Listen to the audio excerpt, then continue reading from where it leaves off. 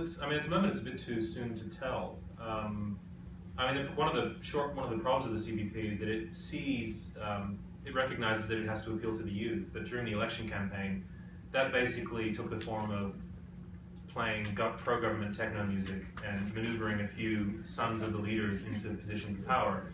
They didn't really do much to directly address the concerns of young people. Um, potentially, it could be a positive thing to have young blood, but um, I mean, a lot of people put a lot of hope in the fact that a lot of these young individuals have been educated overseas, and that therefore they might contract sort of the uh, uh, uh, inclination towards more democratic forms of government. But I mean, in the 1990s, most of the Funcinpec leadership that arrived and, and took positions of power in the, in the, coalition government in 1993, they were educated. They were um, nuclear engineers, lawyers, highly educated individuals, and they were probably more corrupt than the CPP, mm-hmm. um, and, and more, you know, and just as uh, intolerant of pluralism and democracy.